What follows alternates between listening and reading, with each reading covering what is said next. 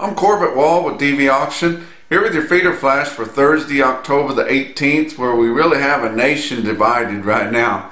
Uh, not necessarily due to political things or ideas, and well, we may have that too, who knows, but uh, basically it's because of the weather. Uh, the northern plains has enjoyed great weather all this week, and the southern plains, especially down in Texas, but uh, throughout Oklahoma, the meat of Oklahoma, uh, up into southern Kansas and places, just wet, miserable, cool, not cold yet, but it seems cold because it's so early in the year, but uh, miserable conditions, especially to try to straighten up uh, new arrivals of calves. And, uh, and, that's been made a big disparage of the market conditions. Uh, uh, one of my favorite quotes of the week so far come from Mark Service, who's the owner and manager of St. Joseph Stockyards in St. Joe, Missouri he told me, he said, the only guys you can send calves to are guys that don't have any of them yet. And uh, that is so true. Uh, he said it, but a lot of the other guys were thinking the same thing. Guys that have gotten their first uh, arrivals or shipments of calves, uh, whoa, whoa, whoa, that's enough. Uh, you know, we don't need any more. But uh, guys that haven't got any yet, they, they think, oh yeah, this ain't too big a deal. It's still early in the year. Bring them on. But I tell you what, there's there's a big difference between what these bawling calves will bring and what the last of the true yearling calves or the or the old last year's fall calves uh, are short yearlings will bring. A big disparage in that, and uh, in fact, uh, I was talking to him there at uh, St. Joe Stockyards, and and uh, he says, you know, those seven weight yearling steers will sure outsell, you know, the the five and six weight steers and and I asked him if that was true, and he said, "Heck, I put a load of, of four weights together, and they didn't cost as much as my seven weight yearlings." But uh, that that goes to show you uh, the difference between having to straighten these cattle out. It also goes to show you, uh, if you look down the line on live cattle futures, the big drop off that we always see between April live cattle and June, uh, which is right now a seven dollars and thirty cent drop from there as we get into to uh, down the line, which a lot of these ball and calves will hit uh, fat um, late next summer or into the middle of next summer, and we'll lose out on that April board. But uh, these good yearlings, these good green, good doing yearlings that got a lot of go to them, uh, they got plenty of time to make that April board, and that's why the market's so good on them right now. But let's look at your CME cattle futures for Wednesday. October live cattle up 27 cents to end the day at 112.92. December down 40 cents at 117.37. October feeder cattle up a nickel at 154.07 and November down 87 cents at 153.35. Look at your fat cattle trade. Through Tuesday, we'd sold 18,500 head, which is a pretty good clip for, for Monday, Tuesday, which the Monday didn't have hardly anything, but had a few sales uh, on Monday and Tuesday that were live, about 800 head at 109. We don't like the sound of that very good, but uh, just just some early stuff, and it's really hard telling what the deal on those cattle were. Might have been a hard to reach out of the way place. Might have been some uh, some cattle, cattle that don't have uh, uh, much record on them on how they'll perform. it may be some some off breed, off type cattle, lower grading type cattle. We never know. But uh, on your dress trade Monday and Tuesday, it ranged all the way from 170 to 175. Uh, mostly 174 though, and that would be steady with last week. Now on Wednesday, we had probably more trade than we had Monday and Tuesday both, and did have quite a bit of live sales, of course, all in the northern plains from 108 up to 110 and quite a bit of 110, and that's getting close to steady. Uh, and then your Iowa dress trade was all at 174, and that would be completely steady. Now in Nebraska, had some live sales from 109 to 111, so that would be back steady with what we've been for the past five or six weeks. Uh, but a lot of 110 there too, and of course it's early trade and not established yet. But also dress trade in Nebraska at 174. Uh, we did hear that Southern Plains uh, Packer buyers would call in at uh, as high as 110 uh, on Wednesday. So it looks like we're probably going to be destined for a once again 111 be your, your whole number on a live basis, be the established price, and, and uh, can't seem to break out of this steady mode.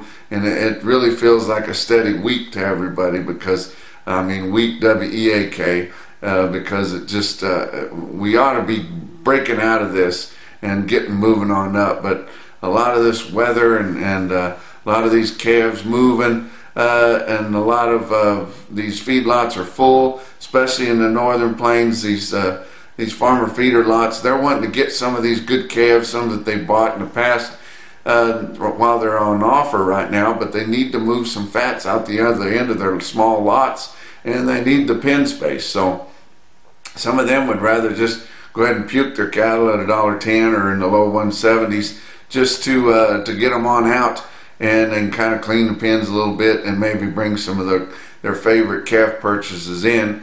Also, you got your farmer feeders in the northern plains still trying to finish up uh, harvest, so they're they're busy and, and they're not really wanting to haggle, spend a lot of time haggling uh, on their fat cattle sales. They want to get ahead and, and keep uh, keep moving on with all the different things they have to do. At the end of last week, our corn harvest was 39 percent complete which was well ahead of last month, last year, and the five-year average. Uh, the, the, for the most of your your uh, corn belt up there, they've had good weather, good sunny uh, mid 50s uh, type clear weather. So uh, they will they will have done a big clip by the by the end of this week with today's equipment, and and then we'll be on the downhill side.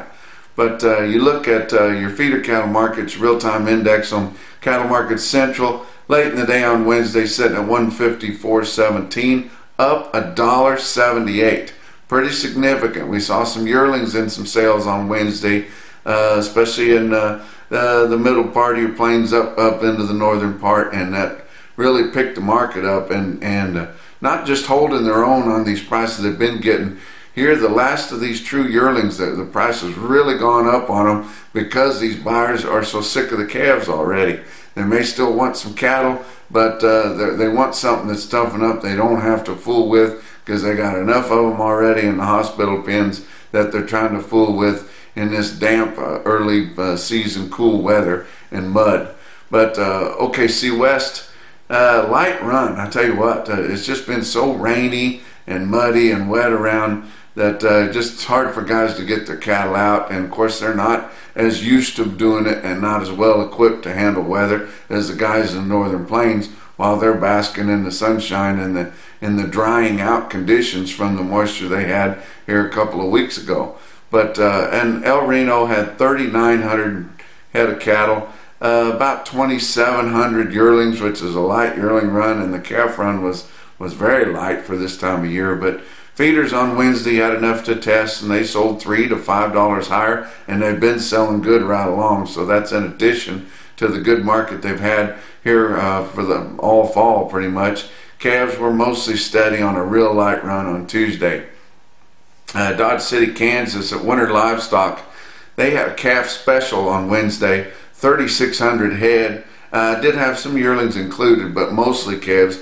The yearlings were, were quoted to be higher where they were tested, and uh, the, it, was hard to compare the, the calves because when they have the yearling special, they get the bigger bunches of calves, the higher quality, uh, the more reputation kind of calf uh, offerings, and uh, really hard to compare those with a hodgepodge calf offering that they might have had on a regular sale the previous week. But a good market noted all the way around at Winter Livestock. Uh, you look at uh, Torrington they had a good sale 2,200 head in, in Torrington, Wyoming there. Under 600 pounds, they quoted the calves as much as 5 to $10 higher. But there again, they're up north far enough where they haven't been uh, bogged down in so much mud. They've had some nice clear conditions and, uh, and a fairly decent temperature uh, uh for the fall, for the middle of the fall. Their heavier calves were steady to a buck higher, and yearlings there two to five dollars higher where they saw them. Bassett, Nebraska had a big sale. 4,350 head of cattle at Bassett, and uh, it was unevenly steady to $6 lower. But you think about the market that they had a week ago, and, and I quoted that uh, pretty strongly if you noticed uh, that last week. Bassett always has strong sales, but when they get those prices that high, you know, a, a dollar figure is not that much when you've got those prices inflated that much. But uh, you look at an individual quote out of Bassett on Cattle Market Central, 169 head of big yearling steers weighing 955 pounds bring 156.75.